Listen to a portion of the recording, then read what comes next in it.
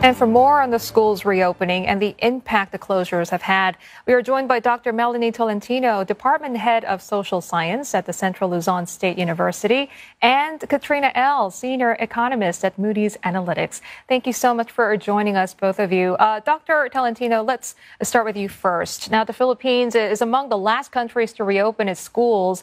Were the protracted school closures worth it in terms of the country's key goals in addressing the pandemic? Good morning. We experienced so many challenges for the two-year uh, closure of our universities and primary and secondary schools. These uh, challenges actually uh, affected institutions of schools, families, as well as the uh, students. For the case of the schools, we have to adjust our curriculum to offer it in a uh, online modality. So we offered it in two ways. It could it uh, was online synchronous and online asynchronous, which definitely impacted the uh, uh, universities. We have to adjust our uh, content as well as our evaluation tools for the students so that we could still deliver even if the, the close if this even if the schools are closed also for the uh, professors as well as school teachers we also experience difficulty in terms of adjusting for to the computer and technical skills necessary for the delivery of our online classes. We have to adjust our pedagogy as well. But uh, I believe that the, the impact is more for the students because they had difficulty to adjust to this online mode of teaching. And as you all know, Philippines, we do not have that very sophisticated uh, in, uh, information and communication technology infrastructure. Most of our students, they do not have computers, laptops, and they have difficulty to have internet connectivity. So uh, we experience so many challenges for the families. Uh, many of the families had lost uh, livelihoods, but uh, it gave opportunity for our students who are in online classes to pursue work part-time work to support for their needs as well as for their families. Yeah, there certainly were many challenges over the last two and a half years in the Philippines. Uh, Katrina, just broadly speaking, what has the pandemic done uh, to the economy and how has that directly impacted schools and students over the last two and a half years?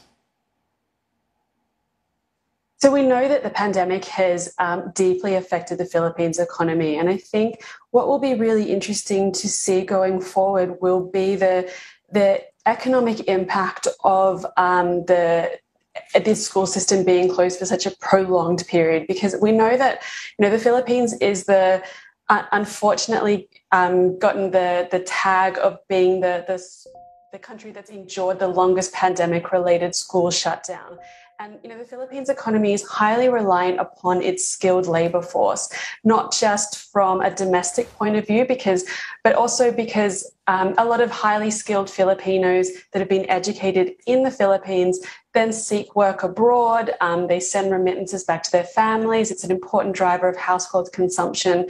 So there could actually be, you know, lasting scars as a result of of these school shutdowns because we know that you know literacy standards for instance according to data from the world bank um, literacy standards for those around 10 years have actually deteriorated over the past two years as a result of these pandemic related shutdowns because there is difficulties and there is really limitations with um, trying to um, homeschool. It, it, doesn't work and it's not as effective as um, you know being in the the proper uh, regular kind of school environment. So you know I think that's going to be kind of a an, interesting and unfortunate economic impact that we're going to see as a result of uh, the Philippines' handling of the pandemic with these extended school shutdowns. Mm.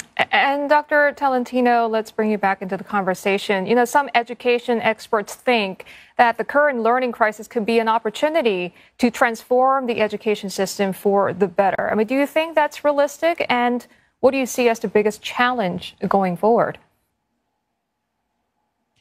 We still have to do a lot of studies about the impact of this uh, change of modality. We have so many students who expressed uh, worries that they may, may not be getting the proper skills training necessary as they graduate uh, through this online mode learning.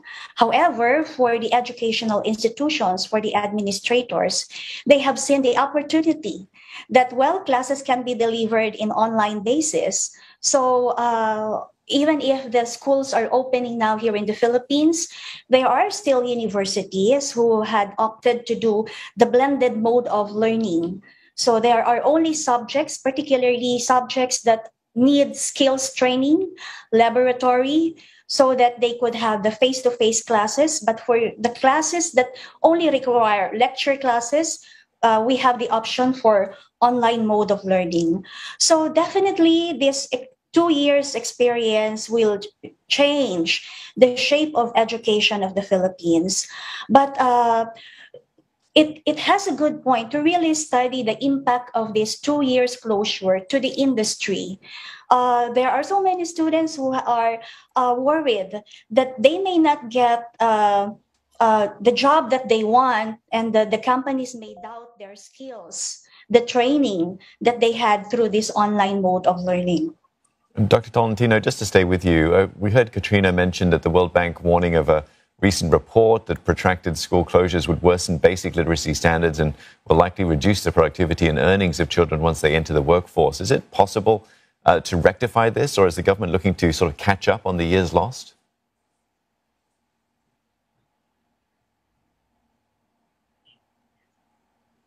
Dr. Tolentino? Uh, excuse me. Uh, sorry, I did not get a question. Can you? Yeah, Dr. Tolentino, I was just asking you. Uh, we heard just now from uh, Katrina talking about uh, the World Bank that recently reported about how the protracted school closures would has worsened the basic literacy standards and the knock-on effect to that being the reduction of productivity and earnings of children once they enter the workforce. Is the government looking to rectify that or, or make up for lost time? Right now, we do not have very concrete, concrete plans to rectify these problems that caused by the closure. Specifically, uh, maybe the uh, strategies would definitely rely on educational institutions. Uh, basically, for the uh, uh, primary and secondary units, they've been trying to rectify this by uh, tutorials uh, at-home tutorials. Uh, the, the faculty members or the teachers are having double time to visit these homes to at least rectify the the lost time and the lost learning uh, opportunities for the children. As for the uh, universities, we are trying to rectify it by increasing um, more opportunities for consultation but for, for the government, I am not aware yet of the concrete plans to rectify these issues of the closure of uh, universities in terms of training and preparation of students for the industry. Mm. All right. So, Katrina, you know, speaking of counteracting, uh, you know, learning losses, how urgent uh, is increased government investment or funding in schooling? And if government wants to target their support, where should their focus be? Yeah, that's a great question. And we know that education is such a, a, critical component of an economy reaching its productive capacity because human capital accumulation is, is just critical to um, an economy thriving over the long term. And so I think, you know, in, the government has announced that it it is making education a priority, but it needs to direct those funds to the to the most you know efficient mechanisms. So that's really focusing on those um, areas that are particularly underfunded, um, those more vulnerable groups that might have particularly lagged behind during the pandemic. So um, where, where homeschooling, for instance, um, didn't really take place at all, and so um, you know, focusing on those students, whether it be the, the younger students or, or the older cohort, um, you know, those that have particularly lagged and not been able to continue with their schooling for the past two years. And that's, I think, going to be an, a, a a very strong focus over the next couple of years, and particularly if the government wants to really make headway on reducing the, the poverty rate. So mm. they've announced that they would like to see the um, the incidence of poverty fall down to 9%, which is an incredibly uh, low figure considering that it's sitting at over 20% at the moment. So, um, if they're actually going to achieve that, they need to um, continue with education being a consistent priority and really continue to direct funds where they're needed most. And Dr. Tolentino, just one last question for you about lessons learned from the pandemic from the government's point of view when it comes to safeguarding the education of young Filipinos. Thank you for that question. Uh, yes, Filipino children do did have a lot of uh, learning in this two-year closure of our schools. There are positive and there are negative. Uh, for uh, the students, I've seen a lot of um, uh, students who have awakened their uh, civic spirit even if they are not engaged in classes or in the universities, they were able to engage themselves in a lot of uh, civic and uh, social works during the pandemic. They helped their classmates to mobilize resources because during the time when there was a typhoon here and uh, there were so many students who were affected, uh, a lot of uh, student organization mobilized to help their classmates their neighbors to provide for the lost livelihood.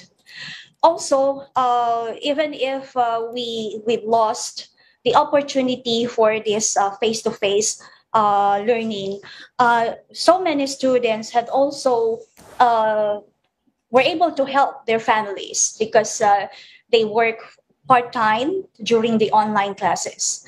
But definitely, it is so true that uh, there are so many negative uh, impacts of this uh, closure of schools, and we try to to uh, strategize so that we can address these uh, negative aspects, especially that the impacts of this closure is divisive, class divisive for as you know philippines we rely to good education so that we can equip ourselves with uh, good skills and training so that we can have better jobs. But for students who do not have intergenerational wealth we are worrying that uh, they may not have the, the proper training so that they can go to industry.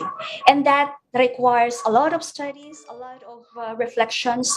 And we hope that we can help uh, in the policy and strategizing program so that we can really uh, mitigate the problems caused by these closures.